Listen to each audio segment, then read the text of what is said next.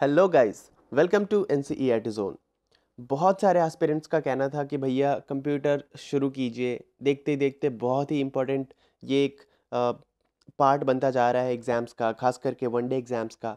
बहुत सारे एग्ज़ाम्स में क्वेश्चंस पूछे जा रहे हैं और ये एक डिसाइडर का काम भी करता है कि कंप्यूटर आपको पता है तो पता है, नहीं पता है तो गेस वर्क वहाँ पे काम नहीं करता है। तो जैसा कि एस्पिरेंट्स का कहना था तो हम लेकर आ गए हैं कंप्यूटर से रिलेटेड सीरीज़। इसमें हम पढ़ेंगे कंप्यूटर के बारे में, बेसिक से लेकर के। वो जितने भी क्वेश्चंस आपके कॉम्पिटिटिव एग्ज़ाम्स में आ सकते हैं, उन सारे इन्फॉर्मेशंस को हम कवर करेंगे इस सीरीज़ के माध्यम से।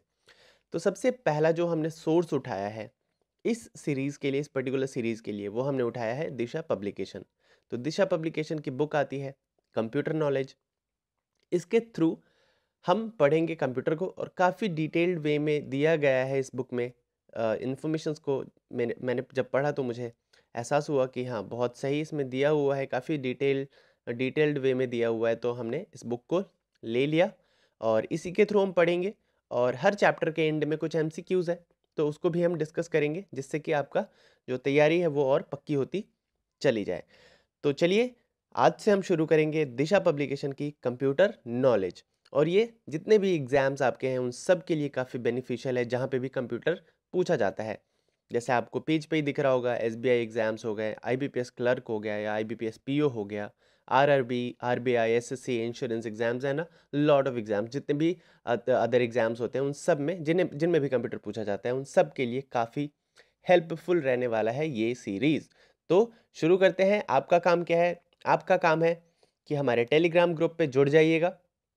और उसका लिंक आपको डिस्क्रिप्शन में मिल जाएगा व्हाट्सएप ग्रुप का लिंक भी आपको मिल जाएगा डिस्क्रिप्शन में तो उसके थ्रू आप जुड़ जाइएगा और वहाँ से पीडीएफ आपको मिल जाएगा और डेली क्लासेस की इन्फॉर्मेशंस मिल जाएँगी शाम को लगभग सात बजे से लेकर के नॉट सात चार, साढ़े चार से लेकर के रात के आठ बजे तक लाइव क्लासेस होती है, धीरज सर लेते हैं तो उसकी इन्फॉर्मेशन भी आपको वहाँ से मिल जाएँगी तो वहाँ पे पॉलिटी की क्लासेस होती है, लूसेंट की क्लासेस होती है और बहुत सारी क्लासेस होती है। तो आगे बढ़ने से पहले पहला चैप्टर डिस्कस करने से पहले हम कुछ यहाँ पे चीज़ें देखेंगे और वो वो चीज़ें क्या होंगी कि कितने चैप्टर्स होंगे आपको इस इस सीरीज़ में, कितने चैप्टर्स आपको पढ़ने मिलेंगे। साथ ही साथ कौन से एग्ज़ाम्स में कितना वेटेज रखता है कंप्यूटर, सबसे पहले हमें ये इन्फॉर्मेशन होनी चाहिए हमारे पास तो इसको हम सबसे पहले डिस्कस करते हैं, उसके बाद हम अपना चैप्टर शुरू करेंगे। तो देखिए क्या क्या कंटेंट्स है इस चैप्टर में? तो सबसे पहला जो चैप्टर हमारे सामने है वो देखिए फंडामेंटल्स ऑफ़ कंप्यूटर ठीक है? सबसे पहले आज हम पढ़ेंगे फंडामेंटल्स ऑफ़ कंप्यूटर उसके बाद नेक्स्ट वीडियो में हम पढ़ेंगे कंपोनेंट्स ऑफ़ कंप्यूटर सिस्टम तो फंडामेंटल्स ऑफ़ कंप्यूटर में क्या क्या होगा? तो जि, जितने भी बेसिक चीज़ें होती है जितने भी बेसिक टर्म्स होते हैं रिलेटेड टू कंप्यूटर ठीक है? जैसे स्टोरेज क्या होता है रैम क्या होता है एंड ब्ला ब्ला वो सब हम पढ़ेंगे आज के इस चैप्टर में। साथ ही साथ थर्ड वीडियो में हम पढ़ेंगे मेमोरी ऑर्गेनाइजेशन उसके बाद कंप्यूटर सॉफ्टवेयर फिर कंप्यूटर हार्डवेयर फिर डेटाबेस मैनेजमेंट सिस्टम ठीक है? ये सब कुछ आपको देखने को मिलेगा। उसके बाद कंप्यूटर नेटवर्क्स है बेसिक ऑफ़ इंटरनेट टेक्नोलॉजी है माइक्रोसॉफ्ट विंडोज़ है माइक्रोसॉफ्ट ऑफ़िस है कंप्यूटर एंड नेटवर्क सिक्योरिटी है। एब्रिविएशन आपको है, बहुत सारे एग्ज़ाम्स में एब्रिविएशन पूछ देता है। सीपीयू का एब्रिविएशन बता दो एएलयू का बता दो, और भी बहुत सारे एब्रिविएशन पूछे जाते हैं कभी कभी तो दो दो पूछ दिए जाते हैं। साथ ही साथ उसके बाद ग्लोजरी आ गई then technology and terms used in internet banking ठीक है? इंटरनेट बैंकिंग जो कि काफ़ी आजकल डिजिटल इंडिया डिजिटल इंडिया हो रहा है चारों तरफ़ तो ये चैप्टर काफ़ी आपके लिए इंपॉर्टेंट बन जाता है। उसके बाद जो लास्ट चैप्टर होगा, वो होगा current information and development in IT fields अब हम बात कर लेते हैं कि कौन से एग्ज़ाम्स में कितना वेटेज रखता है? मतलब या ये एक, आप कह सकते हैं कि अनुमानित यहाँ पे डेटा दिया गया है। ज़रूरी नहीं है कि एग्जैक्टली exactly इतना ही पूछा जाए। कहीं कहीं पे तो एग्जैक्टली exactly पूछा जाता है कहीं कहीं पे हो सकता है कुछ ज़्यादा पूछ दिया जाए या कभी कभी कम पूछ दिया जाए। तो क्योंकि एग्ज़ाम्स का जो पैटर्न है वो अनसर्टेन होता है तो हम कुछ कह नहीं सकते। लेकिन ये जो है, ये एक प्रॉपर डिटेल्ड एनालिसिस है तो इस पर आप ट्रस्ट कर सकते हो, ठीक है? तो देखिए एसबीआई क्लर्क की अगर बात की जाए तो SBI क्लर्क में नंबर ऑफ़ क्वेश्चन ट्वेंटी होते हैं रिलेटेड टू कंप्यूटर्स और टोटल मार्क्स भी ट्वेंटी होते हैं। S B associates bank clerks की बात की जाए तो ट्वेंटी ट्वेंटी यानी कि twenty question and twenty numbers के। आईबीपीएस क्लर्क में ये 40 नंबर का पूछा जाता है। आईबीएस पीओ में 20 नंबर का वेटेज रखता है। आईबीपीएस स्पेशलिस्ट ऑफिसर्स में 50 क्वेश्चंस होते हैं और 75 मार्क्स के होते हैं, यानी कि डेढ़ नंबर का एक एक question then S bank PO की अगर बात की जाए तो पंद्रह यहाँ पे लिखा है जैसा कि मैंने बताया मे वेरी वेरी कर सकता है ठीक है? तो एग्जैक्टली exactly इतना नहीं ज़रूरी नहीं कि इतना ही पंद्रह लिखा है तो पंद्रह पूछा जाए हो सकता है कम पूछते या हो सकता है ज़्यादा पूछ दे ले, तो लेकिन आसपास इसी के रहेगा। Then S B I and associates bank की अगर बात करें तो फिफ्टीन मे वेरी ठीक है? देन रीजनल रूरल बैंक्स यानी कि ग्रामीण बैंक में भी पूछा जाता है चालीस क्वेश्चंस बीस नंबर के। उसके बाद ऑफिसर स्केल वन में regional rural bank officer scale two में ऑफिसर स्केल थ्री में आरबीआई असिस्टेंट में national insurance company assistant exams में, सब में ये ये कंप्यूटर पूछा जाता है। तो बहुत ही बेनिफिशियल रहने वाला है अगर आप इन एग्ज़ाम्स का प्रिपरेशन कर रहे हो या फिर किसी और एग्ज़ाम का प्रिपरेशन कर रहे हो जहाँ पे कंप्यूटर पूछा जाता है। क्लियर है? चलिए। तो आज हम अब शुरू करते हैं हमारा सबसे पहला chapter which is fundamentals of computer okay so let's begin देखिए, सबसे पहले यहाँ पे बात करें तो लिखा है, सबसे ऊपर अगर आप देखें थोड़ा ठीक से तो आपको दिख जाएगा C O M P U T E R यानी कि computer computer C for commonly O for oriented M for machine P for particularly U for use T for trade E for education and R for research तो इससे computer का पूरा नाम क्या बनता है देखिए? Commonly oriented machine particularly used for trade education and research तो यहाँ से हमें पता चल गया कंप्यूटर का एब्रीविएशन क्लियर है? तो अगर एग्ज़ाम्स में पूछ दे कि in the word computer P stand for what है ना? ऐसा क्वेश्चन पूछ सकता है पी स्टैंड फॉर वॉट या फिर यू स्टैंड फॉर वॉट या फिर आर स्टैंड फॉर वॉट तो आपको कंप्यूटर का फुल नेम याद रहेगा commonly oriented machine particularly use for trade education and research तो आप बता दी, दीजिएगा कि पी का मतलब पर्टिकुलरली है आर का मतलब रिसर्च है सी का मतलब कॉमनली है। क्लियर है? तो ये बात याद रखिएगा। चलिए, अब हम चैप्टर को आगे बढ़ाते हैं। तो ये हम पूरा नहीं पढ़ेंगे हम सार समझ लेते हैं कि इसके कहने का मतलब क्या है। तो अगर हम बात करें आज के ज़माने की अगर आज के एरा की बात करें तो ऐसा कुछ भी काम नहीं है ऐसी कोई एक्टिविटी नहीं है जिसे बिना कंप्यूटर के आ, हम अचीव कर सके। लाइक छोटे मोटे काम तो हम कर लेंगे लेकिन ऐसे जो कॉम्प्लेक्स वर्क्स हैं ठीक है उसको बिना कंप्यूटर के करना सोचना भी ऐसा लगता है कि पाप हो जाता है ना? मैनुअली काम को करने में बहुत टाइम लगता है। तो कंप्यूटर क्या हो चुका है? कंप्यूटर एक मल्टीपर्पज टूल बन चुका है आज के ज़माने के लिए, ठीक है? We are breathing in the computer age and gradually computer has become such a desire necessity of life that is that it is difficult to imagine life without it है ना? आजकल हम सोच भी नहीं सकते बिना कंप्यूटर के। ठीक है? हमसे हमारा फ़ोन आधे घंटे के लिए दूर हो जाता है तो हम ऐसा एंग्जियस हो जाते हैं कि ये क्या हो गया? मेरा फ़ोन कहाँ है? मुझे फ़ोन चाहिए, मुझे ये करना है, वो करना है राइट तो बिना कंप्यूटर कंप्यूटर के आज के लाइफ को सोचना काफ़ी डिफ़िकल्ट है इमेजिन भी नहीं कर सकते हैं तो अब बात करते हैं कॉन्सेप्ट ऑफ़ कंप्यूटर्स की। कॉन्सेप्ट ऑफ़ कंप्यूटर्स माफ़ कीजिएगा।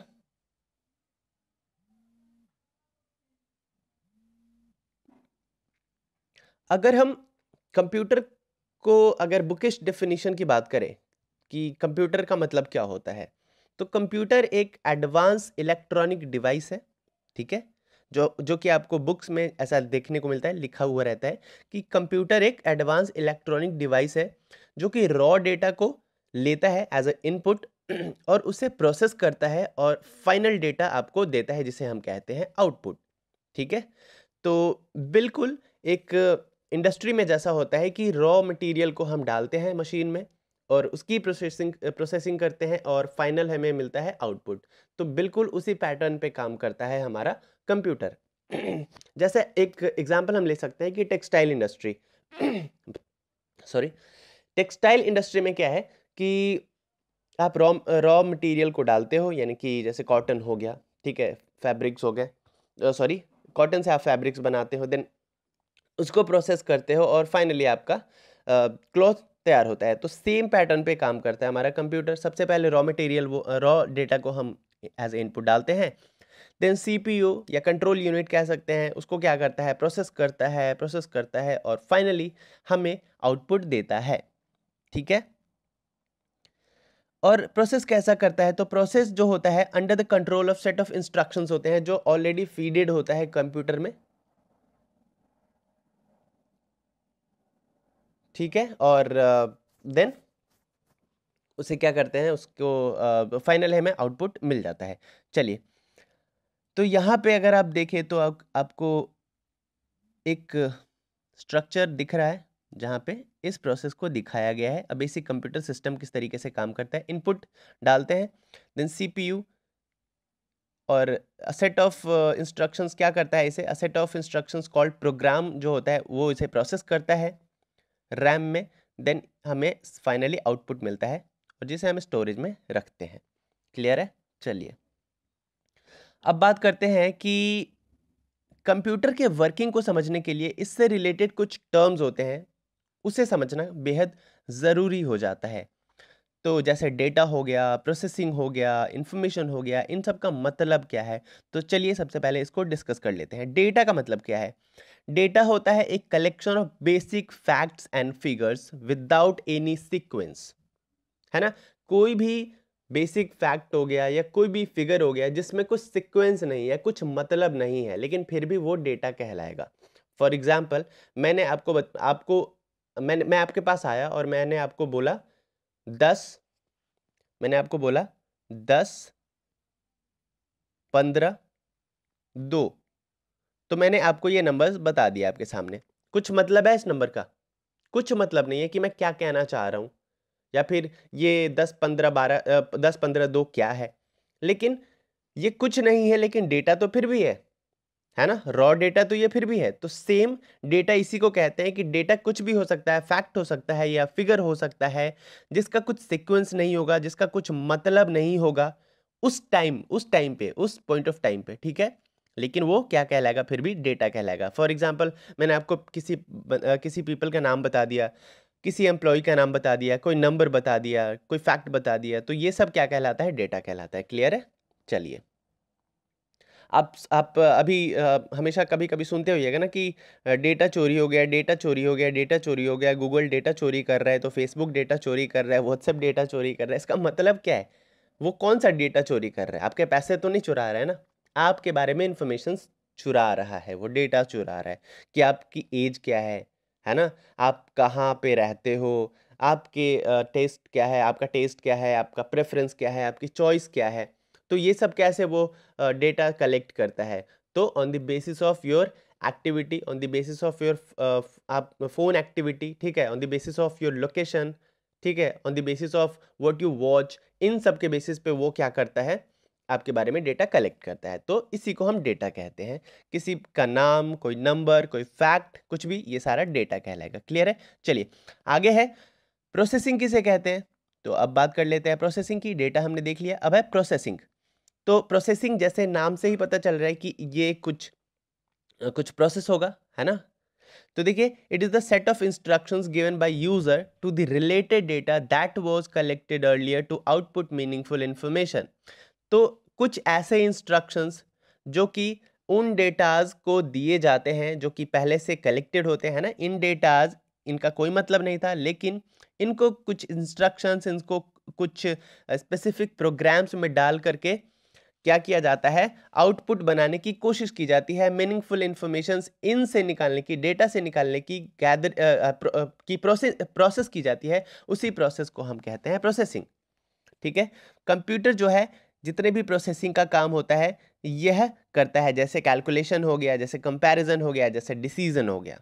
क्लियर है? अगर मैंने दो लोगों, मैंने दो नंबर बता दिए फिफ्टीन एंड टेन और दो पीपल का नाम बता दिया, राम एंड श्याम तो इसका मतलब कुछ नहीं है। दस, पंद्रह, राम, श्याम। अब क्या है? राम की उम्र दस है, या श्याम की उम्र दस है, या फिर राम के पास दस रुपए हैं? या राम के पास पंद्रह रुपए हैं तो कुछ भी हो सकता है ना, उम्र भी हो सकता है या पैसे भी हो सकता है, लेकिन डेटा जब था रॉ फॉर्म में तो कुछ मतलब नहीं बन रहा था, लेकिन जब प्रोसेसिंग की गई तो इसका मतलब सामने निकल के आया। तो बेसिक जितने भी कैलकुलेशंस करनी होती है या कंपैरिजन करना होता है या डिसीज़न लेना होता है रिगार्डिंग दैट डेटा, ये काम कहलाता है प्रोसेसिंग और ये कौन करता है? कंप्यूटर करता है, ठीक है? क्योंकि कंप्यूटर में ऑलरेडी कुछ क्या होता है?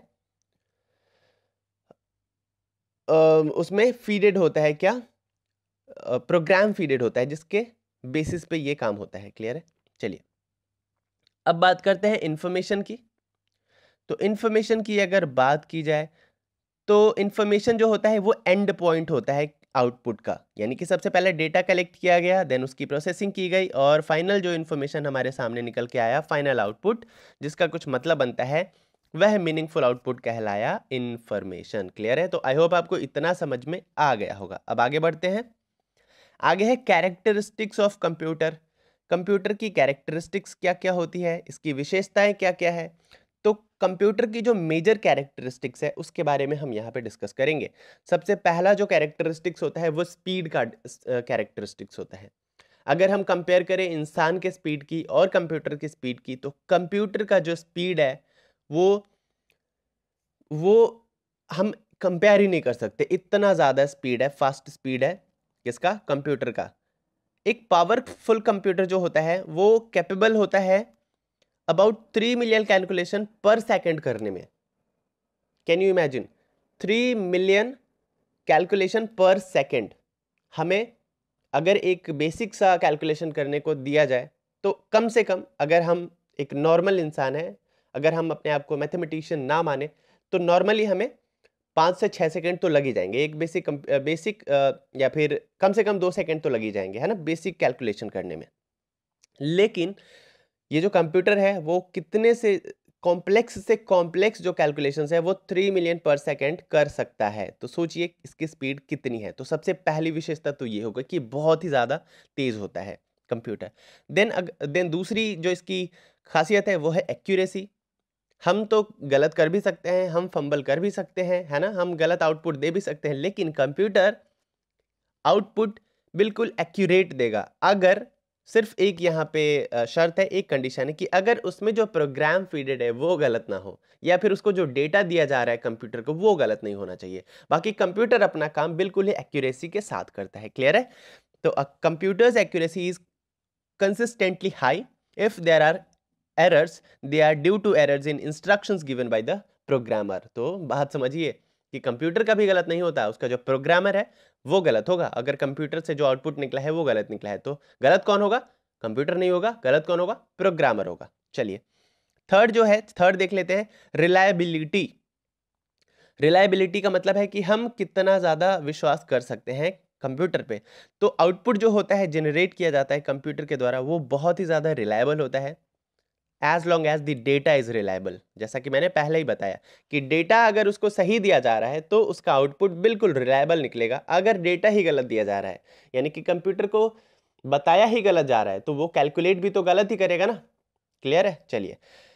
फोर्थ है मेमोरी या स्टोरेज कैपेसिटी हम इंसान भूलने के बहुत ही शौकीन होते हैं। चीज़ों को बहुत जल्दी भूलना हमारी फितरत है। लेकिन जो कंप्यूटर्स है, उनमें स्टोरेज और मेमोरी पावर बहुत ही ज़्यादा हाई होती है। तो कंप्यूटर बहुत ही आ, बहुत ही ज़्यादा वॉल्यूम में स्टोर कर सकता है चीज़ों को और बहुत मतलब इन्फिनिटी के लिए स्टोर कर सकता है ठीक है? और आ, समय पड़ने पे वो डेटा आपको दे भी सकता है दे, दे देता है। उसके बाद अगर हम बात करें वर्सैटिलिटी की अगर हम कह कहते हैं ना कि ये कितना वर्सेटाइल है तो कंप्यूटर ज़्यादा वर्सेटाइल कौन है? कंप्यूटर एक टाइम पे बहुत सारे काम कर रहा होता है मल्टीटास्क कर रहा होता है। ठीक है? तो कंप्यूटर एक टाइम पे बहुत सारे कामों को कर सकता है। यह एक्सेप्ट कर सकता है इंफॉर्मेशंस को, बहुत सारे इनपुट्स को ले सकता है, साथ ही साथ उसी सेम टाइम पे आउटपुट भी दे दे रहा होता है, ठीक है? अगर हम इजी लैंग्वेज में बात करें तो हम जब लैपटॉप पे काम कर रहे होते हैं, जब कभी पढ़ाई कर रहे होते हैं तो एक ही टाइम पे हम सॉन्ग भी यूट्यूब यूट्यूब एक विंडो में खोल के बैठे होते हैं और गाने सुन रहे होते हैं, एक पे हम पीपीटी बना रहे होते हैं, दूसरे पे हम फेसबुक खोल के बैठे होते हैं, तीसरे पे व्हाट्सएप खोल के बैठे होते हैं तो बहुत सारे, एक ही टाइम पे बहुत सारे काम कर रहे होते हैं। ये एक नॉर्मल अभी मॉडर्न एग्ज़ाम्पल है आपके सामने तो इससे आपको पता चल सकता है कि कितना वर्सेटाइल होता है कंप्यूटर कितन, कितने कामों को एक बार में कर रहा होता है है ना? चलिए, इतना वर्सेटाइल तो पंकज त्रिपाठी भी नहीं होगा। नेक्स्ट है ऑटो ऑटोमेशन ऑटोमेशन की अगर बात करें तो एक बार इंस्ट्रक्शंस आप फिड कर दीजिए कंप्यूटर में और उसके बाद ये खुद कर लेगा अपना काम। आपकी ज़रूरत इसको नहीं पड़ेगी। है ना? अगर इंसान की बात करें तो हमें जब कभी प्रॉब्लम समझ में नहीं आती मैथ्स की तो हम टीचर से पूछते हैं। तो उस टाइम पे हमें समझ में आ जाता है। नेक्स्ट टाइम पे हम फिर से भूल जाते हैं। तो हमें फिर से टीचर की ज़रूरत पड़ती है। यानी कि teacher teacher is the programmer ठीक है? और हम क्या है? कंप्यूटर। तो इंसान रूपी जो कंप्यूटर है उससे बार बार प्रोग्रामर की ज़रूरत पड़ती है। लेकिन जो आर्टिफिशियल कंप्यूटर्स है, ठीक है, उनको प्रोग्रामर प्रोग्रामर की ज़रूरत बार बार नहीं पड़ती है। एक बार आपने कुछ फ़ीड कर दिया, उसके बाद ये अपना काम ऑटोमेटिकली कर लेगा। तो ऑटोमेशन इसका एक फीचर है, ठीक है? एक कैरेक्टरिस्टिक्स है कंप्यूटर का। उसके बाद अगर बात हम करें तो डिलीजेंस आता है। डिलीजेंस का मतलब क्या होता है?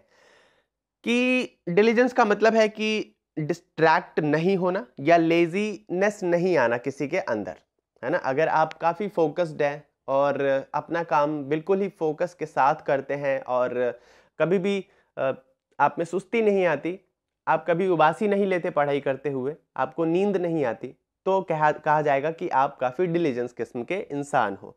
तो कंप्यूटर बिल्कुल डिलीजेंस होता है। A computer will never fail to perform its task due to distraction और लेजीनेस हम पढ़ रहे होते हैं तो हमारे दिमाग में बहुत सारी बातें पढ़ाई के टाइम पे ही आती है। लेकिन कंप्यूटर ऐसा बिल्कुल नहीं है। कंप्यूटर जब अपना काम कर रहा होता है तो बिल्कुल फोकस्ड होता है। जब वो कर रहा होता है, वही काम कर रहा होता है। क्लियर है? इसको नींद नहीं आती और ये लेजी फील नहीं करता है। तो ये कहलाता है डिलीजेंस और ये एक कंप्यूटर का फीचर है।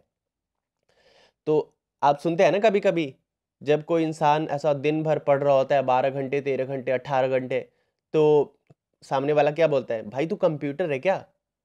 तो इसका मतलब क्या है कंप्यूटर को नींद नहीं आती, लेकिन इंसान को आती है। क्लियर है? चलिए तो डिलीजेंस एक कैरेक्टरिस्टिक्स है कंप्यूटर का। उसके बाद है कन्वीनियंस कन्वीनियंस की बात करें तो कंप्यूटर जो है यूजुअली इजी टू एक्सेस होते हैं मतलब इनको आसानी से एक्सेस किया जा सकता है और इसे इन्हें अलाउ किया जा, सकता है कि इंफॉर्मेशन फाइंड करने के लिए ठीक है? विदाउट विदाउट एनी डिफ़िकल्टी ठीक है? तो आराम से ऑपरेट आप कर सकते हैं। देन फ्लेक्सिबिलिटी की अगर बात करें तो कंप्यूटर्स का जो यूज़ है वो एंटरटेनमेंट के लिए हो सकता है बिज़नेस पर्पज़ के लिए हो सकता है उसके अलावा अलग अलग फ़ील्ड में डिफरेंट जितने भी काम हैं, उन सब में किया जा सकता है उनके गोल्स को अचीव करने के लिए। ठीक है तो एक कंप्यूटर पे बेसिकली सारे काम होते हैं, ठीक है? तो ये कह कहा जाता है फ्लेक्सिबिलिटी तो यहाँ तक हमने क्या पढ़ा? Characteristics of computers I hope आपको समझ में आ गया होगा। एक बार और रिपीट कर लेते हैं। सबसे पहले हमने बात करी कैरेक्टरिस्टिक्स में स्पीड की, उसके बाद एक्यूरेसी की, उसके बाद रिलायबिलिटी की मेमोरी स्टोरेज की वर्सेटैलिटी की ऑटोमेशन की डिलीजेंस की कन्वीनियंस की एंड फ्लैक्सीबिलिटी की। तो इतने सारे यहाँ पे क्या है कैरेक्टरिस्टिक्स हैं। अब हम बात कर लेते हैं गोल्स ऑफ़ कंप्यूटर्स की। ठीक है गोल्स क्या है कंप्यूटर को बनाने के पीछे? मतलब उद्देश्य क्या है? तो सबसे पहला जो गोल है कंप्यूटर का, वो है problem solving techniques using the computer ठीक है? तो problem solving technique using the computer जो प्रॉब्लम्स है उसको सॉल्व करना। उसके बाद analysis of complex problems and the synthesis of solution जितने कॉम्प्लेक्स से कॉम्प्लेक्स प्रॉब्लम्स है, उनको एनालाइज करता है कंप्यूटर और फाइनली हमें सोल्यूशन प्रोवाइड करता है। तो ये भी ऑब्जेक्टिव है, ये भी गोल है कंप्यूटर का। उसके बाद है comprehension of modern software engineering principles ठीक है? कॉम्प्रिहेंड करता है किसी को? मॉडर्न सॉफ्टवेयर इंजीनियरिंग प्रिंसिपल्स को। देन ये सब आपको एग्जामिनेशंस में नहीं पूछे जाएँगे। कॉम्पिटेटिव एग्जामिनेशंस में ये सब हम बेसिक चीज़ें पढ़ रहे हैं तो हम सब कुछ पढ़ते हुए चल रहे हैं, ठीक है? तो बोर मत होइएगा। अगर आपको बोरियत लग रही होगी तो थोड़ा सा फॉरवर्ड कर लीजिएगा, ठीक है? अगर आप नॉलेज लेना चाहते हैं तो मत करिएगा फॉरवर्ड हालाँकि ये सब आपको पूछे नहीं जाएँगे लेकिन इन्फॉर्मेशन काफ़ी ज़रूरी होता है। अगर आपको बेसिक्स पता होगा कंप्यूटर के बारे में तो कुछ भी क्वेश्चंस आ जाए एग्ज़ाम में आप उसको टैकल कर लोगे। उसके बाद है a vast breadth and depth of knowledge in the discipline of computer science computer science में एक्सेल करने के लिए एक वास्ट uh, क्या होना चाहिए? डेप्थ होना चाहिए नॉलेज का ठीक है? तो ये भी एक गोल है कंप्यूटर काफ़ी नॉलेजिबल होता है ठीक है? और एक डिसिप्लिन होता है कंप्यूटर साइंस में। देन अब बात करें कंप्यूटर कैपेबिलिटीज़ की तो वैसे तो हमने फीचर्स में पढ़ ही लिया था कंप्यूटर के कैपेबिलिटी के बारे में, लेकिन यहाँ पे दिया हुआ है तो हम एक बार फिर से एक बस सम, समराइज़ कर लेते हैं इसको। तो कंप्यूटर के कैपेबिलिटीज़ की बात की जाए तो अदर मशीन्स की तरह एक कंप्यूटर जो होता है, इसको भी डायरेक्शन की ज़रूरत पड़ती है। कंप्यूटर खुद ही काम नहीं कर सकता, क्योंकि जितने भी मशीन्स हैं they are operated by human being तो कंप्यूटर को भी चलाने के लिए इंसान की ज़रूरत पड़ती है। भले ही कंप्यूटर कितना भी ज़्यादा बोले कि हाँ मैं बहुत एक्यूरेट हूँ मैं बहुत मेरे में बहुत स्पीड है लेकिन जब तक इंसान उसको प्रोग्राम नहीं करेगा that can not be worked तो उसी तरीके से यहाँ पे है कि मश, जितने भी मशीन है उसी की तरह कंप्यूटर को भी डायरेक्शन की ज़रूरत पड़ती है और कंट्रोलिंग की ज़रूरत पड़ती है। तो उसे कंट्रोल और डायरेक्ट कौन करता है? एक इंसान करता है ठीक है? तो सक्सेसफुली वर्क जब जब ही कर सकता है कंप्यूटर जब कोई इंसान उसको ऑपरेट करे उसको प्रोग्राम करे। तो इसके लिए उसको प्रोग्राम की ज़रूरत पड़ती है, ठीक है? जो प्रिपेयर करता है और स्टोर करता है कंप्यूटर के मेमोरी में और ये काम करता है, इंसान करता है, ठीक है? कंप्यूटर जो होता है, वो कुछ नहीं जानता है। यहाँ पे एक लाइन देखिए, काफ़ी इंटरेस्टिंग लाइन है। The computer knows absolutely nothing computer तो कुछ नहीं जानता है। जो कुछ भी वो जान रहा होता है, वो कर रहा होता है, वो सब किसका दिमाग होता है? इंसान का दिमाग होता है। क्लियर तो कंप्यूटर कुछ नहीं जानता है। प्रोग्रामर सब कुछ जानता है उसका। अब देखिए not even how to accept और रिजेक्ट डेटा कंप्यूटर को ये भी नहीं पता होता है कि कैसे डेटा को एक्सेप्ट करे और कैसे इसको रिजेक्ट करे। Even the most sophisticated computer, no matter how capable it is, must be told what to do. ठीक है? तो चाहे आप एप्पल का मैकबुक खरीद लीजिए उसे कुछ नहीं पता होता है। उसे पता कौन करवाता है? इंसान उसका प्रोग्रामर ठीक है? चलिए। अब देखिए कैपेबिलिटीज और जो इसके लिमिटेशंस हैं, इसके, इसको अगर रिकॉग्नाइज जब तक नहीं किया जाए, यह यूज़फुल नहीं हो पाता है और उसको अच्छे से समझ, समझा नहीं जा सकता है। अब आगे बात कर लेते हैं कि कंप्यूटर्स जो है, वो रेपिटेटिव काम करने में काफ़ी सक्षम होता है, यानी कि एक ही काम को वो हज़ार बार कर सकता है और बिना बोर हुए कर सकता है। क्लियर है? कंप्यूटर एक ही आप एक ही विंडो को खोल रहे हैं, बंद कर रहे हैं, खोल रहे हैं, बंद कर रहे हैं, उसको हज़ार बार करिए, लाख बार करिए कंप्यूटर को कोई फ़र्क नहीं पड़ता। अगर आप किसी चलिए एक एग्ज़ाम्पल लेते हैं काफ़ी इंटरेस्टिंग आप अपने डॉगी के साथ खेल रहे हैं, आप अपने कुत्ते के साथ खेल रहे हैं, और हम तो कुत्ता ही बोलते हैं तो उसको बॉल आप दीजिएगा, फेंकिएगा, और वो लेकर आएगा। उसको फिर से बॉल आप फेंकते हैं, वो फिर से लेकर आता है, फिर से फेंकते हैं, फिर से लेकर आते हैं तो दस बार के बाद कुत्ता भी बोलता होगा, मनी मन। कि ये क्या करवा रहे मालिक? जब आपको फेंकना ही है तो मंगवाते क्यों ठीक है। लेकिन कंप्यूटर ऐसा बिल्कुल नहीं बोलेगा। कंप्यूटर का क्या है कि आप उसको हज़ार बार काम करवा लीजिए, एक ही काम करवा लीजिए, लाख बार करवा लीजिए, उसको कुछ फ़र्क नहीं पड़ता है। वो करता जाएगा बिना सोए हुए, बिना इरिटेट हुए हुए, ठीक है? तो रिपीटेटिव काम करने में काफ़ी सक्षम होता है कंप्यूटर। तो ये इसकी कैपेबिलिटी है। उसके बाद कंप्यूटर जो है वो इन्फॉर्मेशन को प्रोसेस कर सकता है एक्सट्रीमली रैपिड रेट्स के साथ बहुत ही फास्टली कर सकता है। ठीक है? उसके अलावा कंप्यूटर जो है वो कैलकुलेशंस को काफ़ी तेज़ी में कर सकता है बिना फेल हुए और बिल्कुल ही काफ़ी क्या कर सकता है आ, बिना फेल हुए कर सकता है और एक्यूरेटली कर सकता है। तो ये सब हम पढ़ चुके हैं ऑलरेडी तो इस पर हम टाइम वेस्ट नहीं करेंगे। चलिए अब आगे सीधा बढ़ते हैं। History of the development of computers पे आते हैं। शुरुआत कैसे हुई कंप्यूटर की? तो अगर हम बिल्कुल शुरू में चले जाएँ तो तब कोई भी कंप्यूटर नहीं हुआ करता था। याद रखिएगा in the beginning there were no computers तो ऐड करने के लिए या सब करने के लिए जो इंसान थे, वो क्या यूज़ किया करते थे? फिंगर्स का यूज़ करते थे और टोज़ का यूज़ करते थे, ठीक है? तो अभी भी है, जब हम बचपन में थे तो हमें तो सिखाया जाता था फिंगर पे काउंटिंग करना सिखाया जाता था। एक, दो, तीन, चार, पाँच पाँच में से दो गया, तीन तीन में दो जोड़ दिया, पाँच। ठीक है तो ऐसे सिखाया जाता था उंगलियों पे सिखाया जाता तो तो शुरू में भी इंसान बिल्कुल ऐसा ही किया करते थे, ऐड या सब्ट्रैक्ट करने के लिए अपने फिंगर्स का यूज़ किया करते थे, साथ ही साथ टोज का यूज़ किया करते थे। माफ़ करिएगा, मिट गया। ठीक है, फिंगर्स एंड टोज का यूज़ किया करता करते थे। अब देखिए जो एबेकस आपने नाम सुना होगा। Abacus is known to be first mechanical calculating device तो एग्ज़ाम में अगर आपसे पूछ दिया जाए कि सबसे पहला मैकेनिकल कैलकुलेटिंग डिवाइस यानी कि यांत्रिक कैलकुलेटिंग यंत्र, आप कह सकते हैं, ठीक है, हिंदी में। तो वो कौन सा था? तो वो एबेकस था जिसपे जोड़ने और घटाने का काम किया करते थे। तो सबसे पहला कौन था? मैकेनिकल डिवाइस फॉर कैलकुलेशंस वो था एबेकस याद रखिएगा वेरी वेरी इंपॉर्टेंट उसके बाद the main purpose of abacus was the additional and subtraction subtraction could be perform quickly अब देखिए ये जो uh, ये था एबेकस बनने से क्या हुआ? फिंगर्स पे जो हम ऐड और सब्ट्रैक्ट करते थे उससे काफ़ी तेज़ी में होने लगा एबेकस पे ठीक है? और एबेकस का जो डेवलप किया था एबेकस को, वो किसने किया था? तो इजिप्शियंस ने किया था टेंथ सेंचुरी में। एबेकस को डेवलप किसने किया था? इजिप्शियंस ने किया था टेंथ सेंचुरी बीसी में किया था। लेकिन फाइनली जो स्ट्रक्चर दिया गया, एबेकस को फाइनली वो ट्वेल्थ सेंचुरी में दिया गया, ठीक है? फिर से मैं बता देता हूँ। तो देखिए, एबेकस वैसे तो टेंथ सेंचुरी में बना चुके थे कौन? इजिप्शियंस, लेकिन इसको जो फाइनल स्ट्रक्चर मिला ना, वो ट्वेल्थ सेंचुरी में मिला और ट्वेल्थ सेंचुरी एडी में मिला। और किसके द्वारा मिला? तो चाइनीज़ एजुकेशनिस्ट के द्वारा, यानी कि जो चाइना के शिक्षाविद थे, उनके द्वारा इसे फाइनली स्ट्रक्चर दिया गया। एबेकस कैसे बना था? तो एबेकस बना हुआ था एक फ्रेम था जिसमें रॉड्स लगे हुए थे और रॉड्स फिटेड थे, वो फ्रेम के दोनों तरफ़ और रॉड्स पे राउंड बीड्स लगे थे। तो अगर आपने देखा है एबेकस को तो आपको पता होगा कि कैसा वो बना हुआ था। तो वैसे तो यहाँ पे पिक्चर मैं नहीं ले पाया, लेकिन कुछ इस तरीके से एक स्ट्रक्चर आप कह सकते हो कि ये रॉड लगे हुए थे, ये बस मैं एक सैंपल बना रहा हूँ और इस पर बीड्स लगे हुए थे।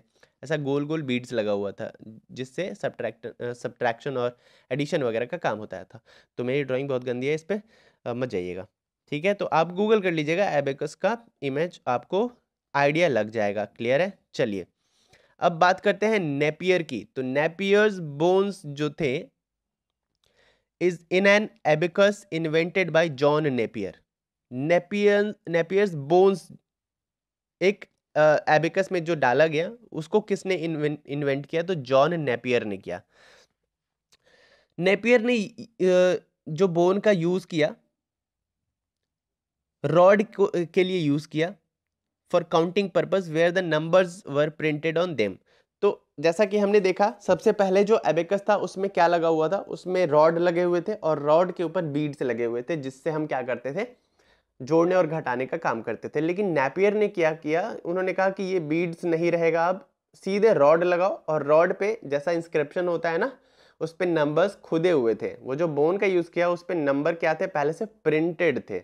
क्लियर है तो याद रखिएगा, इसमें बीड्स हटा दिया और वो जो बोन्स उन्होंने लगाया ना तो बोन्स पे वो ऑलरेडी प्रिंटेड था। तो हम कह सकते हैं कि मान लीजिए ये बोन है तो इस पर एक, दो, ऐसा करके जो भी स्क्रिप्ट रहा होगा, उसमें लिखा हुआ था एक, दो, तीन, चार, ठीक है?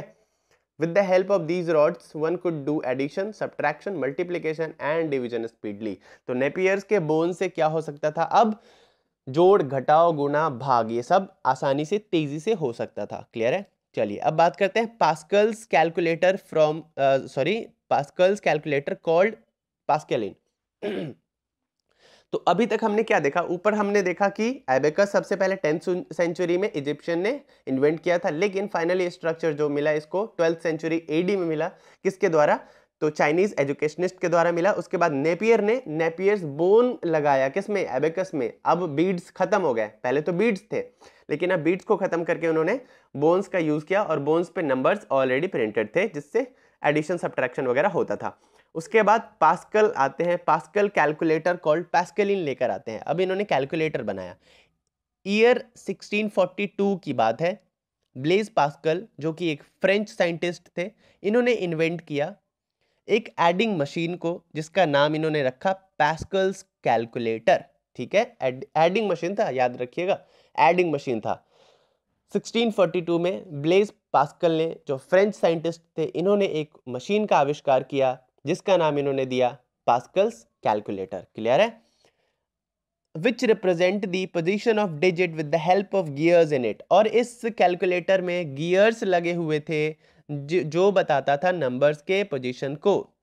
और इस मशीन के थ्रू क्या हो सकता था? कंप्यूटर इंजीनियरिंग और calculator fail to be great commercial success अच्छा देखिए, ये जो बना तो दिया इन्होंने, लेकिन क्या हो गया ये? कैलकुलेटर क्या हो गया? फेल हो गया, ठीक है? ज़्यादा मतलब चल नहीं पाया, ठीक है? यूज़फुल ज़्यादा हो नहीं पाया। अब हम आगे बात कर लेते हैं लेबनीज कैलकुलेटर की। तो यहाँ तक हमें समझ में आ गया। अब हम बात करते हैं लेबनीज कैलकुलेटर की। चलिए।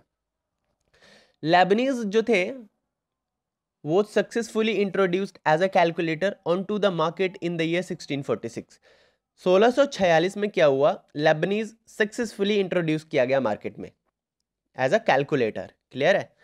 और ये जो डिज़ाइन किया गया था फर्दर डिज़ाइन किया गया 1673 में, यानी कि 1673 में इसमें कुछ और डिज़ाइंस इसको अच्छे से डिज़ाइन किया गया।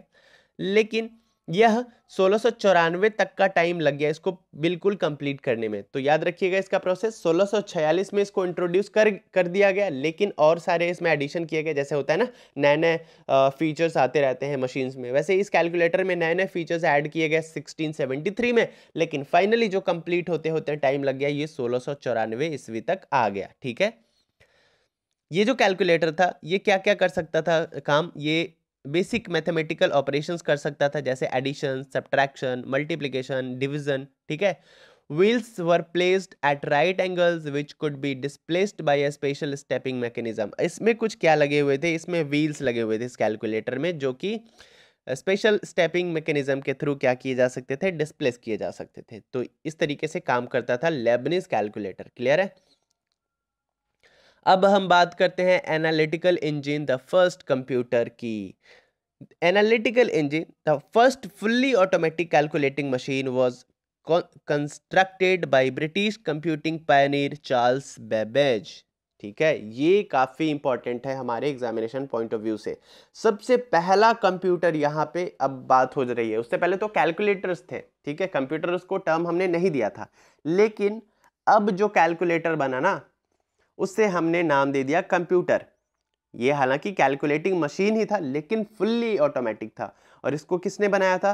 तो इसको बनाया था जो ब्रिटिश के कंप्यूटर पायनियर है, चार्ल्स बेबेज, जिन्हें क्या कहा जाता है? क्या कहा जाता है? बिल्कुल सही। Fathers of, father of computers. ठीक है तो चार्ल्स बेबेज ने इसका आविष्कार किया। कब किया? तो 1791 से 1871 तक किया। क्लियर है? Who first conceived the idea of an advanced calculating machine to calculate and print mathematical table in 1812 इन्हें सबसे पहले आइडिया आया कि क्यों ना ऐसा एडवांस कैलकुलेटिंग मशीन बनाया जाए, जो कि मैथमेटिकल ऑपरेशंस को प्रिंट भी करे, इनके टेबल को क्लियर और कैलकुलेट भी करे। तो इन इन्होंने ये एनालिटिकल इंजन बनाया। एनालिटिकल इंजन की अगर बात करें तो ये क्या करता था? इसमें इनकॉर्पोरेट किया गया था अर्थमेटिकल लॉजिक यूनिट यानी कि ए एल यू इसमें डाला गया था। कंट्रोल करने के लिए इसको, ठीक है? ओके साथ ही साथ इसमें मेमोरी भी इंटीग्रेटेड थी, यानी कि देखिए, बिल्कुल आज के कंप्यूटर आज का जो कंप्यूटर है, बिल्कुल इसी कॉन्सेप्ट पे है। आज भी ए है, आज भी स्टोरेज के लिए मेमोरी है रैम है, ठीक है, ये सब है ऑपरेशंस के लिए प्रोग्राम के लिए। तो बिल्कुल इसी तो हम कह सकते हैं कि जो एनालिटिकल इंजन था, वो बिल्कुल पहला कंप्यूटर था। Okay making it the first design for general purpose computer that could be described in modern terms as Turing complete तो हमें समझ में आ गया कि सबसे पहला कंप्यूटर क्या है? तो चलिए, इससे हमें क्या समझ में आया? सबसे पहला कंप्यूटर एनालिटिकल इंजन बनाया किसने? तो आविष्कार किया चार्ल्स बेबेज ने। कहाँ के थे? ब्रिटिश के थे और इन्हें क्या कहा जाता है? Father of computers. क्लियर है? तो इतना याद रखिएगा, काफ़ी यहाँ से क्वेश्चन बनते हैं। अब हम बात कर लेते हैं फाइव जेनरेशन ऑफ़ कंप्यूटर्स की। क्लियर है? चलिए एक एक करके देखते हैं फाइव जेनरेशन ऑफ़ कंप्यूटर्स। चलिए, सबसे पहले बात करते हैं फ़र्स्ट जेनरेशन ऑफ़ कंप्यूटर्स की, जो कि 1942 से 1955 तक था। तो बिगिनिंग ऑफ़ कॉमर्शियल कंप्यूटर जो है, इस, ये कहाँ से शुरुआत हो गई? कॉमर्शियल कंप्यूटर्स कहाँ से आने लग गए? तो यूनिवैक से आने लग गया। यूनिवैक का मतलब क्या है? यूनिवर्सल ऑटोमेटिक कंप्यूटर याद रखिएगा। आपसे एब्रीविएशन में ये पूछ दिया जाता है। यूनिवैक का मतलब क्या है? Universal automatic computer first generation computers use जो होते थे, वो 1942 से 1955 के बीच में होते थे। और वो कैसे बने हुए थे तो वो बेस्ड थे वैक्यूम ट्यूब्स पे। Example of first generation computer जो है, वो है ENIAC and UNIVAC one clear है? काफ़ी इंपॉर्टेंट नाम है, इनको याद रखिएगा। तो पहला जो फ़र्स्ट जनरेशन कंप्यूटर था, वो किस पे बेस्ड था? वैक्यूम ट्यूब्स के ऊपर बेस्ड था। ठीक है? वैक्यूम ट्यूब्स क्या थे? तो वैक्यूम ट्यूब्स जो थे इलेक्ट्रॉनिक कंपोनेंट हुआ करते थे। Only electronic component available during those days तो 1942 से 1955 के बीच में कुछ चिप्स कुछ सर्किट वगैरह नहीं आए थे। सिर्फ़ इसी का यूज़ किया जा सकता था वैक्यूम ट्यूब्स का। तो इसी को इस्तेमाल करके फ़र्स्ट जनरेशन कंप्यूटर बनाया गया और इसका एग्ज़ाम्पल क्या है? ENIAC and UNIVAC one clear है? Very very important vacuum tubes हमने पता कर लिया कि सिर्फ़ इकलौता इलेक्ट्रॉनिक कंपोनेंट इस्तेमाल में लाया लाया जा सकता था उस टाइम पे। देन वैक्यूम ट्यूब जो था, वो मेड कैसे बना था? तो vacuum tubes technology made possible to make electronic digital computers vacuum tubes ही था जो कि डिजिटल कंप्यूटर्स का सपना साकार कर सकता था। अब देखिए, ये जो कितने तेज थे, कितनी स्पीड थी इसमें तो these computers could calculate data in millisecond तो मिली सेकेंड में ये कैलकुलेट कर सकते थे डेटा को अब आगे बढ़ते हैं, बात करते हैं इसके डिसएडवांटेज की। तो फ़र्स्ट जनरेशन कंप्यूटर का डिसएडवांटेज क्या था? बना तो दिया हमने, एडवांटेज तो देख लिया, लेकिन ये जो थे साइज़ में काफ़ी बड़े हुआ करते थे, लार्ज साइज़ के, एक रूम के बराबर जितना भी हुआ करते थे ये computers. They consumed a large amount of energy, इनमें एनर्जी भी बहुत लगती थी। नॉन पोर्टेबल होते थे यानी कि एक जगह से दूसरे जगह आप, आप बिल्कुल उठा के नहीं ले जा सकते थे ठीक है? आपको ट्रक मंगवाना पड़ जाता था। Limited commercial use commercial use में लिमिटेड ही यूज़ हो पाता था। वेरी स्लो स्पीड थी इसकी। यूज्ड जो था language used machine language only था। और चलिए स्टोरेज की जो क्षमता थी वो काफ़ी कम थी ठीक है? बहुत कम स्टोर कर पाता था तो ये डिसएडवांटेज था। अब बात करते हैं सेकेंड जनरेशन कंप्यूटर की। तो देखा हमने 1942 से लेकर के 1955 तक फ़र्स्ट जनरेशन कंप्यूटर था और उसका एग्ज़ाम्पल क्या था? ENIAC and UNIVAC one clear है? अब बात करते हैं सेकेंड जनरेशन कंप्यूटर्स की। तो पहले जनरेशन में यूज़ किया गया था वैक्यूम ट्यूब्स को। सेकेंड में यूज़ किया गया ट्रांजिस्टर्स को। अब देखिए ट्रांजिस्टर आ चुका था तब तक, ठीक है? और कंप्यूटर का साइज़ जो था वॉज़ डिक्रीज पहले फ़र्स्ट जनरेशन के मुकाबले इसका साइज़ अब डिक्रीज हो गया सेकेंड जनरेशन का। क्यों? क्योंकि वैक्यूम ट्यूब्स को हमने रिप्लेस कर दिया ट्रांजिस्टर के साथ। वैक्यूम ट्यूब्स का अब हम इस्तेमाल नहीं करना पड़ता था, क्योंकि हमने खोज लिया था ट्रांजिस्टर्स को। एग्ज़ाम्पल की अगर बात करें सेकेंड जनरेशन कंप्यूटर की तो I B M seven zero nine four series fourteen hundred series and sixty four ये कुछ एग्जाम्पल्स है आपके सेकेंड जनरेशन कंप्यूटर्स के। क्लियर है? एडवांटेज की बात करें सेकेंड जनरेशन कंप्यूटर की तो पहले के मुकाबले ये काफ़ी स्मॉलर हो गए थे। Smaller in size as compare to the first generation computer उसके बाद यूज़ लेस एनर्जी यूज़ करते थे और गर्म नहीं होते थे जल्दी। ठीक है? उसके अलावा बेटर स्पीड थी इसमें। और डेटा को माइक्रो सेकेंड्स में अब ये कैलकुलेट कर सकते थे। First generation computer millisecond में कर सकते थे, लेकिन ये जो सेकेंड जनरेशन कंप्यूटर है, ये अब कैसे कर सकता था? माइक्रो सेकेंड में कैलकुलेट कर सकता था। तो देखिए, पहले से क्या हो रहा है, काफ़ी इंप्रूवमेंट हो रहा है हर फीचर्स में। उसके अलावा used faster peripherals like tape drives, magnetic disk, printer, इन सब का इस्तेमाल अब इसमें किया जा सकता था। प्रिंटर का, मैग्नेटिक डिस्क का, इन सब का इस्तेमाल अब इसमें किया जा सकता था। उसके अलावा used assembly language instead of machine language. अब मशीन लैंग्वेज की जगह पे किसका इस्तेमाल होने लग गया था? असेंबली लैंग्वेज का। उसके अलावा डिसएडवांटेज की बात करें तो कूलिंग सिस्टम वॉज़ रिक्वायर्ड। अभी कूलिंग सिस्टम नहीं आया था इसमें, ठीक है? गर्म तो अभी भी होते थे, कूलिंग सिस्टम नहीं था। उसके अलावा कांस्टेंट मेंटेनेंस वाज रिक्वायर्ड समय समय पे मेंटेनेंस इसको मेंटेन करना पड़ता था, मेंटेनेंस कराना पड़ता था। उसके अलावा only use for specific purposes कुछ ही काम के लिए यूज़ किया जा सकता था। उसके अलावा costly and not versatile costly भी था और वर्सेटाइल भी नहीं था आज के कंप्यूटर की तरह। तो ये हमने देख लिया सेकेंड जनरेशन कंप्यूटर तो देखा फ़र्स्ट देख लिया सेकेंड देख लिया। एक बार रिवाइज कर लेते हैं। सेकेंड जनरेशन आया था 1955 से 1964 के बीच में। और इसका एग्ज़ाम्पल क्योंकि इसमें अब वैक्यूम ट्यूब्स के जगह पे ट्रांजिस्टर का इस्तेमाल होने लग गया था। साथ ही साथ इसके एग्जाम्पल्स की बात करें तो I B M seven zero nine four I B M fourteen hundred and C D S one sixty four कुछ एग्जाम्पल्स इसके थे। और एडवांटेज एंड डिसएडवांटेज हमने देख लिया। अब बात करते हैं थर्ड जनरेशन कंप्यूटर की। तो 1964 से लेकर के 1975 तक ये काम इसने किया, थर्ड जनरेशन कंप्यूटर ने। तो थर्ड जनरेशन कंप्यूटर में अब देखिए, पहले वाले में हमने यूज़ किया था वैक्यूम ट्यूब्स का, सेकंड में हमने यूज़ किया था ट्रांजिस्टर का, और अब थर्ड में हम यूज़ करने लग गए थे आईसीज का, यानी कि इंटीग्रेटेड सर, सर्किट्स का। ठीक है? अब आप बोलोगे आईसी क्या होता है? इंटीग्रेटेड सर्किट क्या होता है? तो यहाँ पे दिया हुआ है।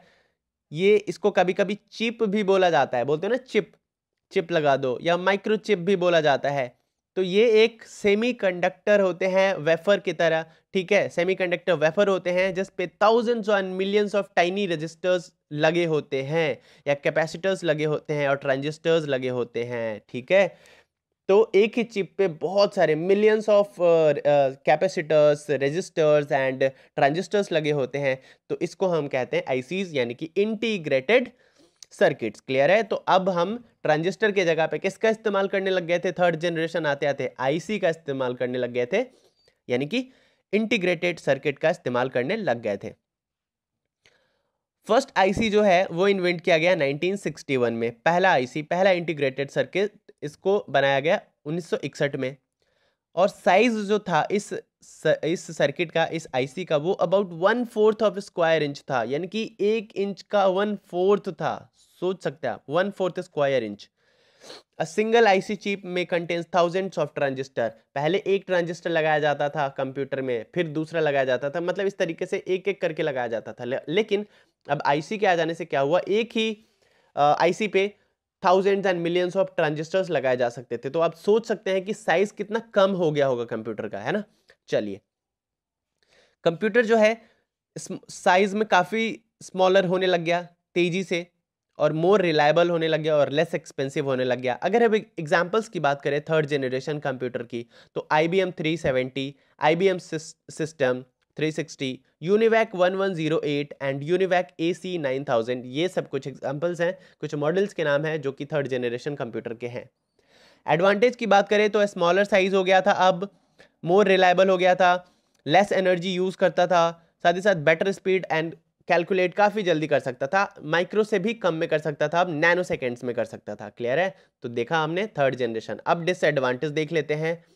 एयर कंडीशनिंग वॉज़ रिक्वायर्ड अभी भी एयर कूलिंग नहीं बनी थी, ठीक है? कंडीशनिंग रिक्वायर्ड थी। Then highly sophisticated technology required for the manufacturing of IC chips अब आईसी चिप्स के लिए, बनाने के लिए हाईली टेक्नोलॉजी रिक्वायरमेंट थी यहाँ पे। अब हम बात कर लेते हैं फोर्थ जनरेशन कंप्यूटर की, जो कि 1975 से लेकर के प्रेजेंट तक है। क्लियर है? चलिए। मतलब अभी जो है फोर्थ जनरेशन भी चल रहा है और फिफ्थ जनरेशन भी चल रहा है। तो याद रखिएगा कंफ्यूज मत होइएगा कि अभी फोर्थ कैसे चल रहा है। आपने तो बोला था फाइव जनरेशन आ चुके हैं तो जी हाँ फिफ्थ आ चुका है, लेकिन ऐसा नहीं कि फोर्थ आउटडेटेड हो गया, वो भी बहुत सारे लोग उसको यूज़ कर रहे हैं। चलिए फोर्थ जनरेशन की, की बात करते हैं 1975 से प्रेजेंट तक अभी भी है। फोर्थ जनरेशन कंप्यूटर जो है वो स्टार्ट हुआ था किसके साथ? इन्वेंशन ऑफ़ माइक्रो प्रोसेसर के साथ।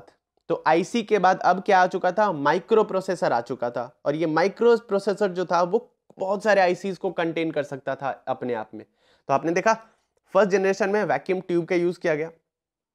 सेकेंड में ट्रांजिस्टर का यूज़ किया गया जिसमें बहुत सारे वैक्यूम ट्यूब्स आ सकते थे।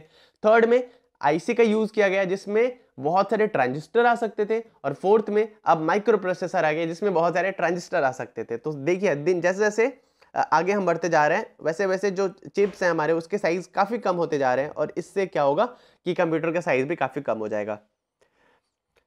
The L S I, large scale integration circuit and V L S I, यानी कि very large scale integration circuit, was designed. अब देखिए, एल एस आई और V L S I design किया जाने लग गया। और इसने कंप्यूटर के साइज़ को बहुत ज़्यादा कम कर दिया, ठीक है?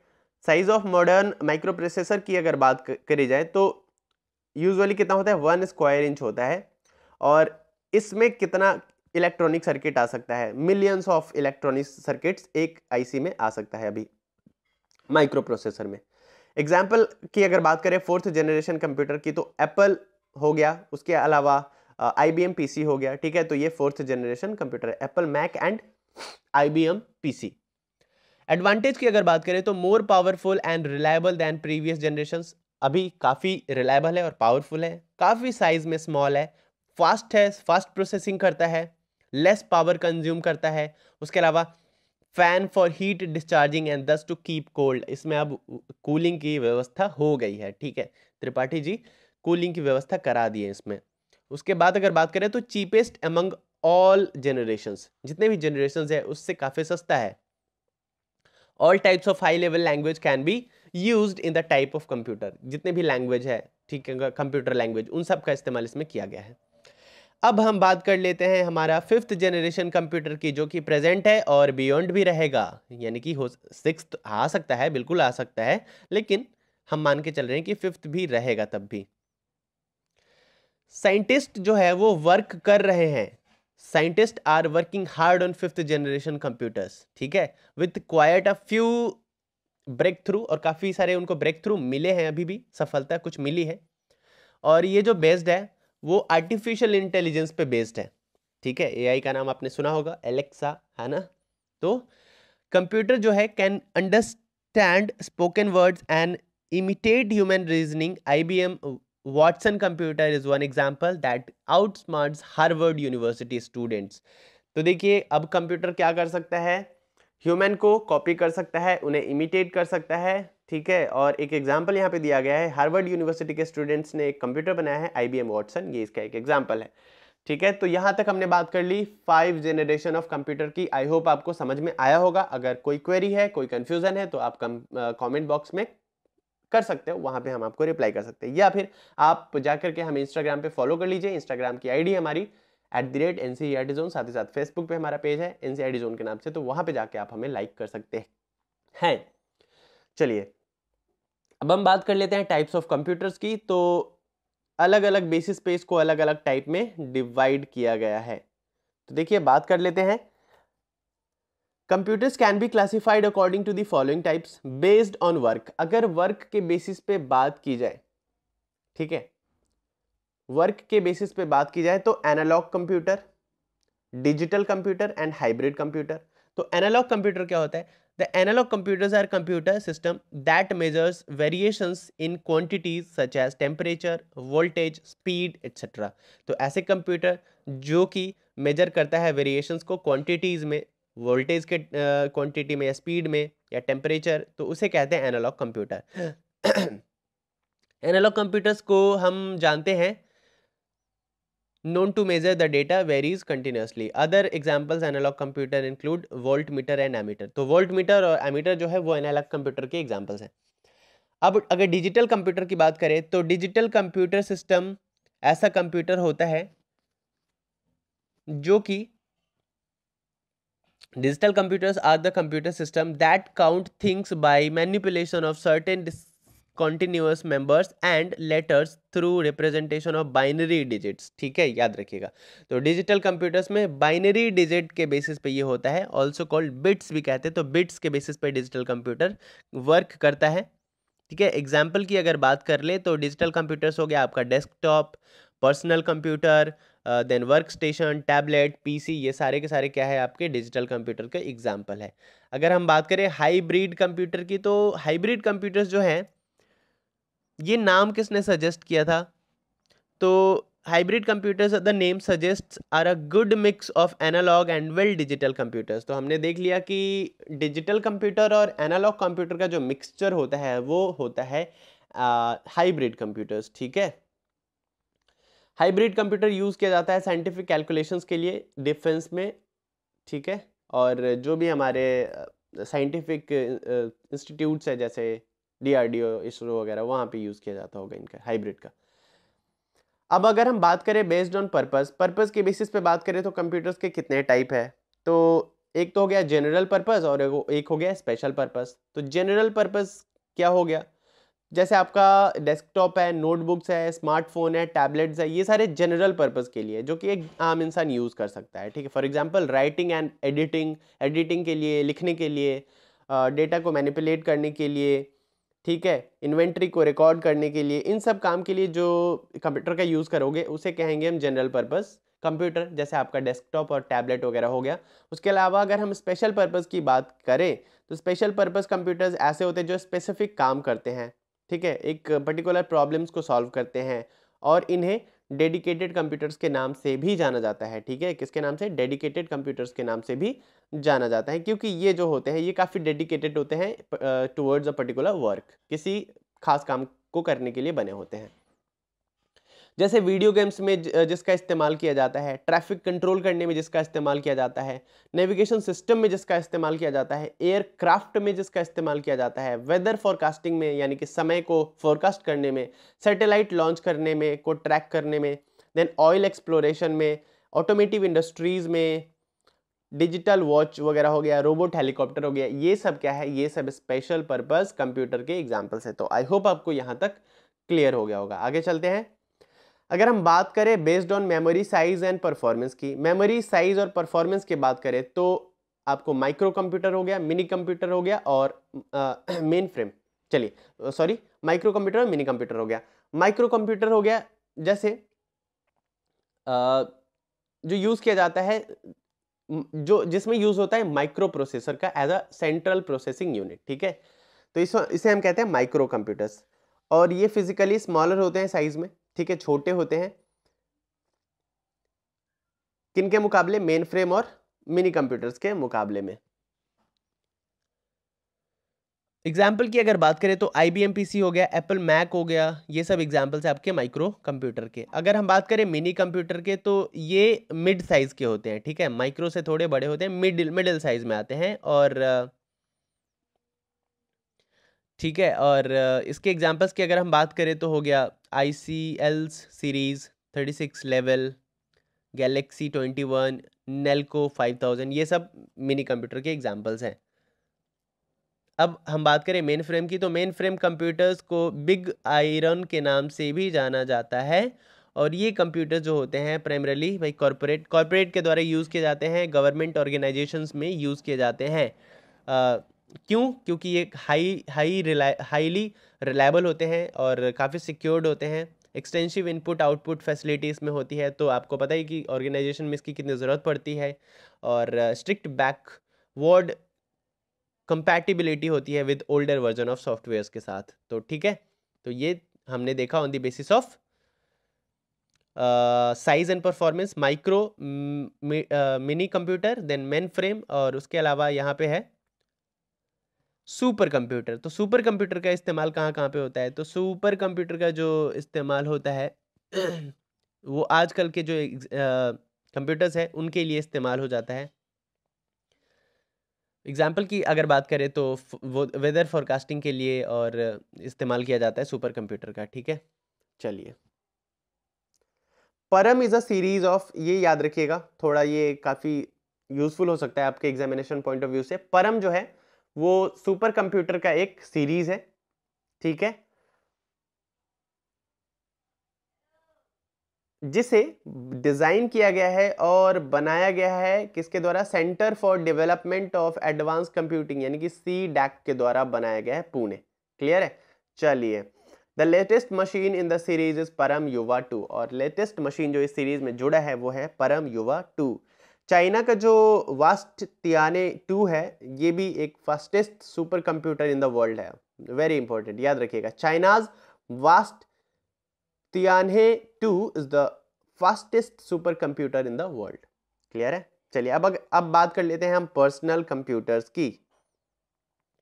तो पर्सनल कंप्यूटर्स में जो हम अपने लिए यूज़ करते हैं personal computers are computers that are design for a individual user individual user के लिए डिज़ाइन किया जाता है पर्सनल कंप्यूटर को, और ये जो कंप्यूटर्स हैं, वो स्मॉल होते हैं रिलायबल होते हैं, और रिलेटिवली चीपर होते हैं क्लियर है? सस्ते होते हैं। ओके पर्सनल कंप्यूटर में क्या क्या यूज़ किया जाता है? तो एक माइक्रो प्रोसेसर टेक्नोलॉजी यूज़ की जाती है। To put an entire C P U they save myriad purposes and can be put to use the various business for working okay ठीक है, चलिए। तो किस लिए यूज़ कर सकते हैं? हम सर्फिंग के लिए यूज़ कर सकते हैं गेम खेलने के लिए यूज़ कर सकते हैं ऑनलाइन एप्लीकेशंस के लिए यूज़ कर सकते हैं, घर में यूज़ कर सकते हैं और पर्सनल यूज़ के लिए इसका इस्तेमाल कर सकते हैं पर्सनल कंप्यूटर का। टाइप्स ऑफ़ पर्सनल कंप्यूटर की अगर हम बात करें तो देखिए टाइप्स ऑफ़ पर्सनल कंप्यूटर कितने हैं? तो सबसे पहला है टावर मॉडल टावर मॉडल की बात करें तो this model of professional computer refer to computer in which the power supply motherboard and other mass storage devices are stacked on top of each other in a cabinet देखिए tower जैसे कि नाम से ही पता चल रहा है टावर कैसा होता है? लंबा होता है, ऐसा ऊपर की तरफ़ होता है, ठीक है? तो वैसे ही इस कंप्यूटर में भी जो चीज़ें होती है जैसे पावर सप्लाई हो गया मदरबोर्ड हो गया उसके बाद स्टोरेज डिवाइस हो गया तो एक के ऊपर एक ऐसा बनाया गया होता है, ठीक है? इसलिए इसका नाम है tower model then desktop model है। डेस्कटॉप मॉडल हम सब जानते हैं। इसका कंप्यूटर इसका मतलब क्या होता है? कंप्यूटर जो डिज़ाइन किया गया होता है कंफर्टेबली फिट हो जाता है ऑन टॉप ऑफ़ डेस्क एक डेस्क के ऊपर, एक टेबल के ऊपर वो फिट हो जाता है, ठीक है? इसमें मॉनिटर सेटिंग होती है on the top of the computer then desktop model computers are compare to the tower model are broad and low whereas tower model computers are narrow and tall ठीक है? तो डेस्कटॉप मॉडल ब्रॉड होता है, लेकिन छोटा होता है। वहीं पे टावर मॉडल ऊँचा होता है, लेकिन नैरो होता है। क्लियर है? तो चलिए, ये दोनों में डिफरेंस था। नोटबुक कंप्यूटर की बात करें तो ऑल्सो कॉल्ड अल्ट्रा बुक इसको अल्ट्रा बुक भी कहते हैं। तो these are extremely popular because they are extremely light weighted and portable तो नोटबुक कंप्यूटर कैसे होते हैं? जो काफ़ी लाइट वेटेड होते हैं, इसको आप कहीं पे भी कैरी कर सकते हैं, ठीक है? Because of their smaller size ठीक है?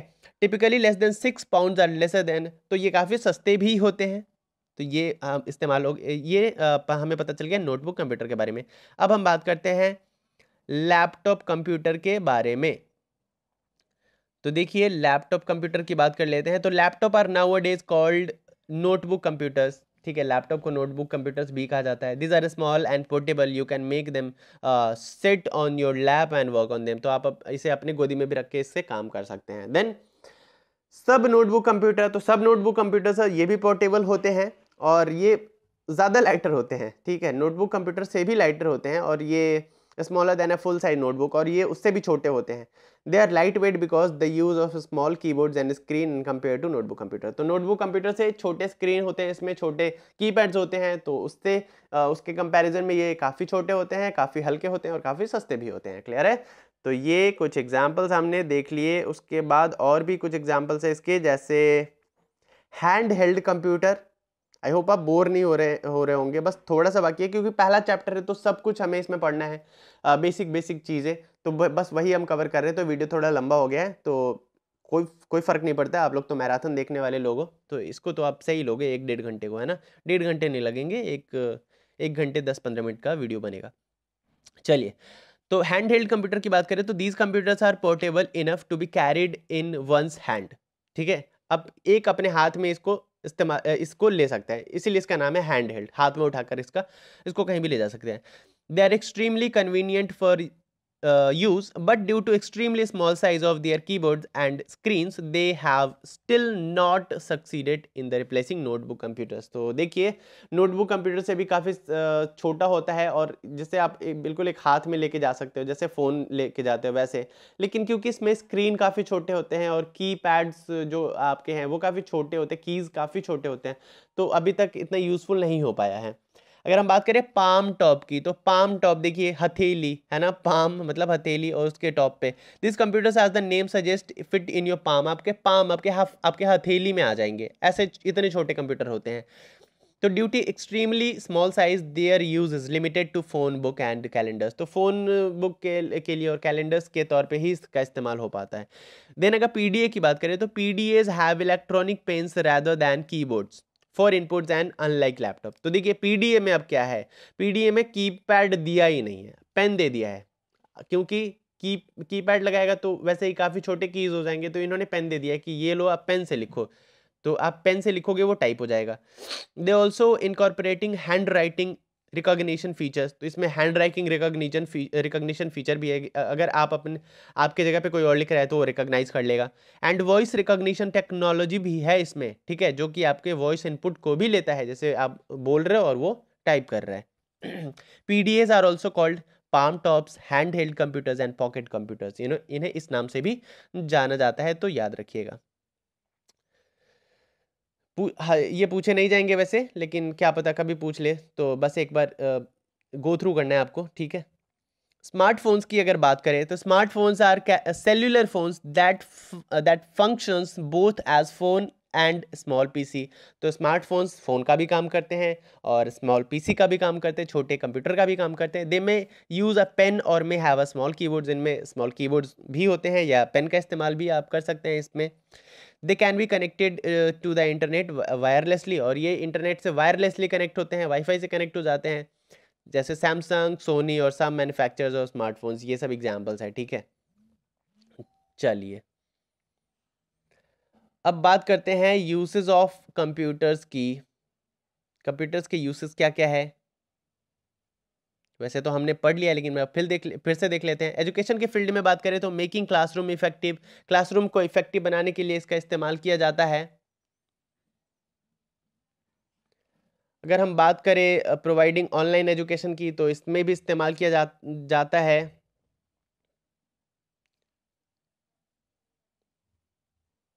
ठीक है? उसके बाद helps in research work research करने में भी हमें मदद करता है। In the field of office office में भी इसका इस्तेमाल किया जाता है, जैसे डॉक्यूमेंट मैनेजमेंट हो गया। Then document management system then word processing desktop publishing ये सब ऑफ़िस ऑफिशियल यूज़ है कंप्यूटर का, ठीक है? देन स्प्रेडशीट बनाने में उसके अलावा ऑफ़िस सपोर्ट सिस्टम में इन सब में यूज़ किए जा सकते हैं। तो ये अलग अलग यूसेज है जो कि ऑफ़िस में यूज़ किए जाते हैं कंप्यूटर। चलिए अगर अब बात करें हम मेडिसिन के फ़ील्ड में तो उसमें भी यूज़ किया जाता है जिस इसका जैसे हॉस्पिटल हॉस्पिटल एडमिनिस्ट्रेशन हो गया आ, उसके बाद रिकॉर्डिंग मेडिकल हिस्ट्री रिकॉर्ड करने के लिए देन सिस्टम को मॉनिटर करने के लिए लाइफ सपोर्ट सिस्टम को मैनेज करने के लिए डायग्नोसिंग डायग्नोसिस करने के लिए डिसीज़ का, इसके लिए भी इस्तेमाल किया जाता है। उसके अलावा हम बात करें तो डिफेंस के फ़ील्ड में भी इसका इस्तेमाल किया जा सकता आई मीन किया जाता है, ठीक है? तो बहुत सारे वर्क्स हैं। कंप्यूटर्स को और ये सब थियोरेटिकल है तो ये सब हमसे नहीं पूछेगा तो सीधा आगे बढ़ते हैं। तो चलिए, यहाँ पे आके हमारा पहला chapter fundamentals of computer complete होता है। तो thank you very much guys for watching this video last तक आपने देखा, अगर आप लास्ट तक आए हो तो थैंक यू वेरी मच आपने बहुत सारे आई होप आपने बहुत सारे इन्फॉर्मेशन गैदर किए होंगे इस वीडियो के माध्यम से। तो बस, मिलते हैं नेक्स्ट वीडियो में अगले चैप्टर के साथ। तो अगर आप न्यू है चैनल पे और एन सी जोन को अभी तक आपने सब्सक्राइब नहीं किया है तो please do subscribe to the N C zone like the video अगर आपको अच्छा लगा देन कमेंट करके भी बताइए, लोगों के साथ शेयर कीजिए। और जैसा कि मैंने पहले बताया इंस्टाग्राम और फेसबुक पे हमारा पेज है तो वहाँ पे भी जाके हमें आप फॉलो कीजिए। Thank you very much guys मिलते हैं नेक्स्ट वीडियो में. Till then bye and take care